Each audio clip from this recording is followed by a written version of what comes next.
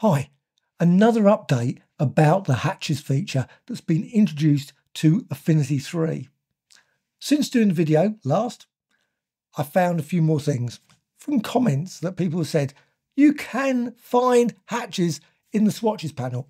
And yes, you can. Where's the swatches panel? Go to Window and then down to General and Swatches.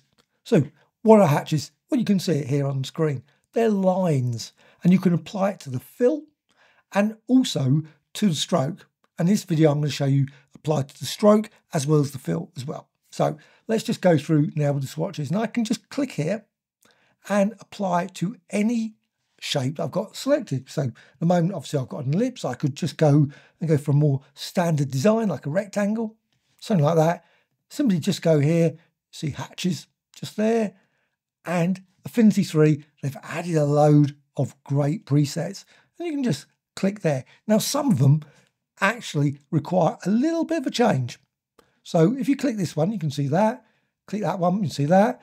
And some of them just end up showing that, which is not great. My apologies, there's some fireworks going at the moment. But still, what you can do is you can change these settings. And how to do that?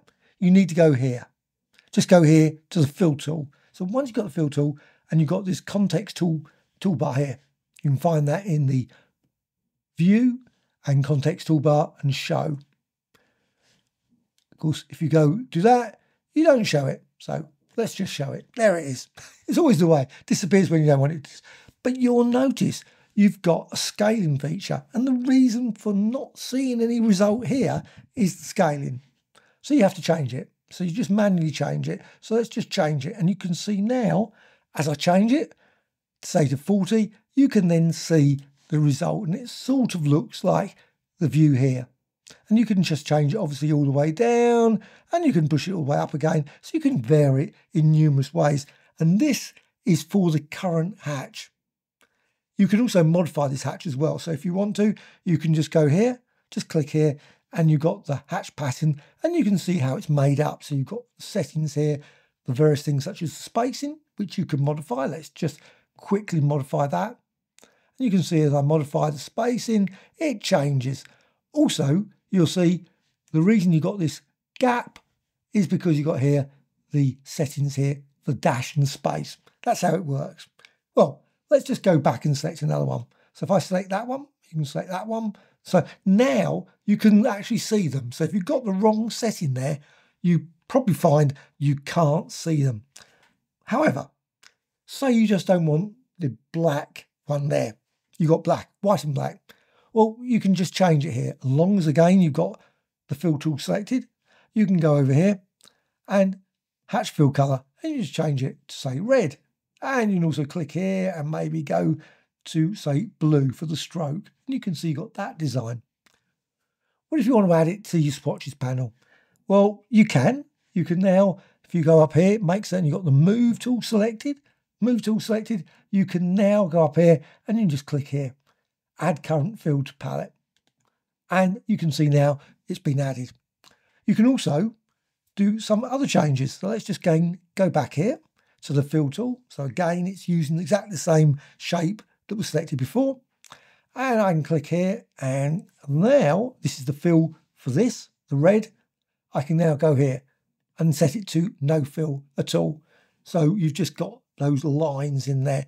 And you, what you can do, you can see you've got here, you've got the settings here for line weight. So you can just change it. So you might want to, you know, just push it up there. So you've got these blue lines. So you can make lots of variations from just this basic set of swatches over here. And again, exactly the same, go to the move tool, select that.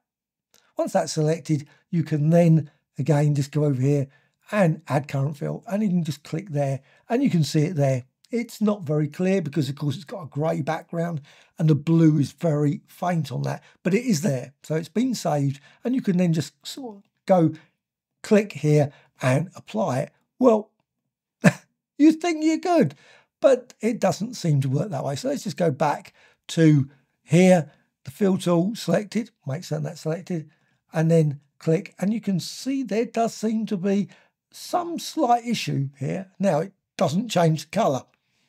Still got the blue there, not the original black.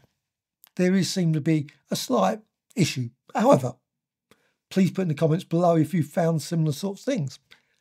But I did mention you can also apply a stroke with the hatch as well. And you can do it. It does seem to have a mind of its own, bit like this, where it doesn't seem to work particularly well. So I've got here, hit this selected, and I can just go down here now. You've got the rectangle, and you can see you've got here the width. So let's just click there, and then you can increase that. And you can see as I do that, you've got 30. So just click here, and you've got hatch patterns again. However, it doesn't seem to exactly work if you just click there.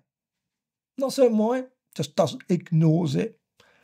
But you have got these, the swatches. So with the swatches, what you need to do is just go over here, make certain you've got this selected, the fill tool. So fill tool selected, go down here and again the context, which you have there. You can go to fill, you can just set it to swatch, a stroke I should say. What I'm going to do now is actually apply the swatches. So exactly the same, just click here. And now you can see you've got it applied there. And you can go through this. It suffers from exactly the same thing as before, that you'll notice that here you can't see anything. Well, again, fill tool there selected, you can just vary this and make something again. You go back to stroke because this is the trouble. It, it resets itself. Whenever you go back to it, it changes to fill. It always goes back to fill. I find that a very annoying feature, but that's what it does. So always go and just set it to stroke. And now what you can do, you can see the setting is 2540, which is crazy. So you can just click there and you can reduce down and reduce down and you can see something starting to appear. Yes, we've got the lines in and you can now see the stroke and hatch is applied correctly. So you have to set it to 11% and not 2,450 or whatever it is. It's a bit odd, but that's what it seems to do when you do. You do need to make certain this is set, and also you can scale it and also modify the settings again. Just change there if you want to make it a bit thicker there. Again, vary this if you want to do that, and you can see then change the rotation again. It's for the stroke, so you can create a whole range of different designs. So it does work. It just seems to have a bit of a slight quirky way of working. Well, I hope you found this update about the hatch feature of use. And please put in the comments below, have you found other things you think really great with it or different issues where it just doesn't seem to work or whatever with that hatch? Because I think it's a great feature. There is also another feature before I finish. Let's just go to this and this is the fill. You'll notice there's a bake appearance. Now, because I've got this one without any sort of, obviously there's transparency, which is great. What you can do is you can click bake appearance. So just click bake appearance. And now what you get is you get lots of lines to work with. it's great, which I really like. So if you just go over here, you can see you've got this group and lines and you can manipulate it. So you can just go over here and just go to node tool and you can see you get this. You get lots and lots of points to work with. And you, of course, can just, let's just drag down now. Want to do something anyway and you can just manipulate it. So you can, of course, just ooh, no, don't want to do that. Just now, it's one thing. It always slightly what's the name? It just goes. Oh, I want to get that back. Let's just go back to the node tool and lines. Yeah, want to select it. It's always slightly annoying if it just suddenly goes. You try and get it back again. It's not always straightforward, but there it is. So it's selected, and you can, of course, then create something slightly more interesting than just straight lines. You can create sort of a weaving or whatever, or wavy kind of background. And again, you select some more, or maybe some of them. And again, you can see you could just keep trying variations. And perhaps you could even go and change the colour. Uh, just go down here and let's go for, oh, changes the whole thing. Yes, it's all one single thing. You can't change the individuals. You probably can break it down even further. And maybe that's for another video. But you can see that you can create some quite interesting designs using this approach. Hope you found this of interest. Bye.